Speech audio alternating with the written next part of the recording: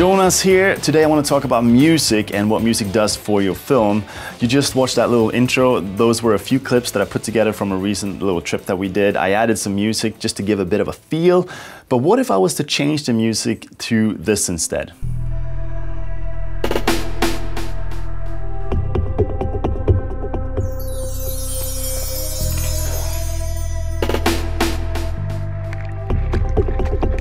Then I would be able to create a completely different feel. So we're gonna talk a little bit about that. And then I also wanna talk about how you can get music for your film uh, in a cheap way.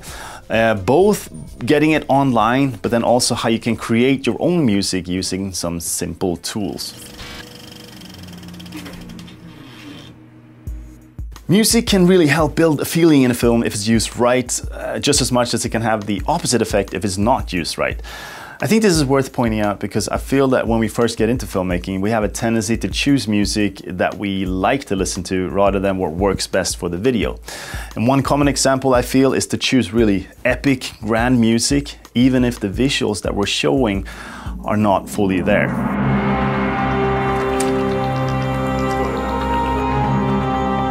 I don't want to sound negative or anything, but I think music like this would work best with really grand scenery or maybe aerial views.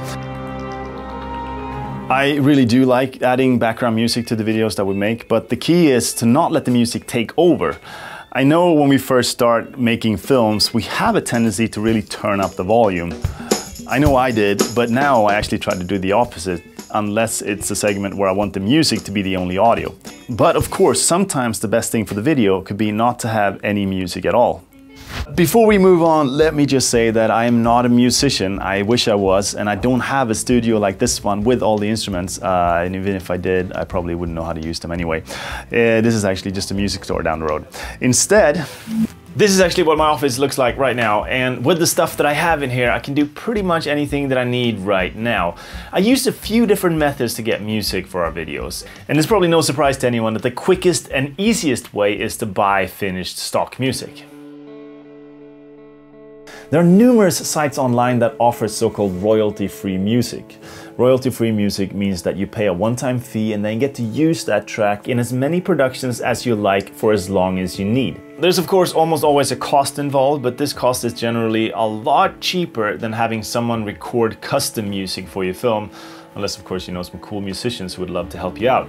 If you do buy music online, make sure you read through the license terms, because these can vary a lot depending on what kind of project you're working on and also how the video will be made public. These terms also vary a lot depending on the site you're buying from. Some sites may allow a music track to be used only a limited number of times, whereas other sites may allow you to use it as many times as you want after you bought it. I tend to prefer buying from the sites that give me unlimited use.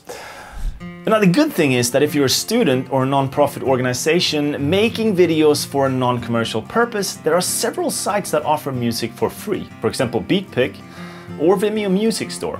You see here on Vimeo Music Store that it's free as Creative Commons, which basically means that you have to give credit to the creator of the music, but then also make your video available as Creative Commons.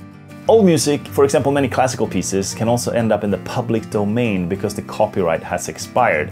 And this is a good thing because obviously means free music uh, and we just did a video on public domain and copyright, I'm adding the link right here. Uh, I suggest you take a look at it if you're interested and it will give you some uh, useful tips on how to get free stuff for your films. If you don't want to buy stock music or simply don't have the funds to do so, you always have the option of making your own music, of course. Um, remember that this video is supposed to be for those of you working with basic equipment and on the lower budget, so I'm going to show you some simple and cheap ways that you can make music and still make it sound good. So this is what I'm using right now. I have a laptop with some sort of music program on it. I have a separate screen, which is not necessary, but it is helpful. I also have a separate uh, microphone, which is really good to have. And I have a keyboard that can be plugged into the computer. Quite honestly, you don't need the keyboard. You can do everything you need to do using the keyboard on the computer. And uh, I gotta be honest, I, I don't actually use it that much. But sometimes it's really helpful. First thing, the easiest way to create your own music is to work with loops. These are short clips that have been pre-recorded by musicians and then made available for us. Many music programs, even pretty basic ones, often come with a set of loops that we can mix and match and edit as we want. I basically treat each type of loop as an individual instrument and then I put them in sequence. If you don't want to work with loops, you can always create music from scratch using the digital instruments that are included in the program. And this is when I uh, use my keyboard, but again, you can always use the keyboard on the computer. It does take uh, quite a lot more time, but it is a lot of fun. And when you're done, you obviously created your own music piece from scratch too. It's just that you use digital instruments instead of real instruments. Again, each instrument will be its own layer. Whether you're creating music from scratch or working with loops, you just export the final piece when you're done and move it over to your video editing program. And the cool thing is you can actually download GarageBand to an iPhone also, so you can do a lot of this stuff on your phone as well. Or why not get really fancy and record sounds around you and piece them together right in your video editing program.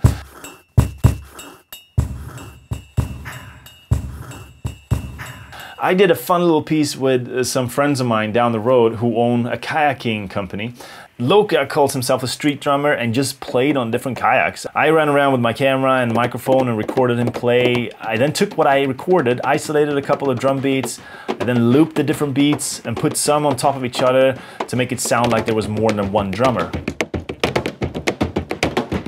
And I did all of this right in the video editing program It turned out pretty cool, I think, and at least the kayaking community really loved it.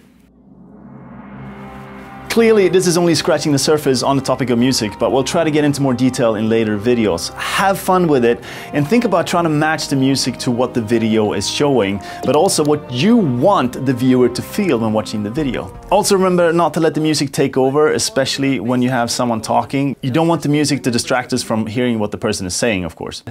This video is part of a group of videos that we're doing together with the Our Rock project, where we try to provide some good tools to get you started in filmmaking.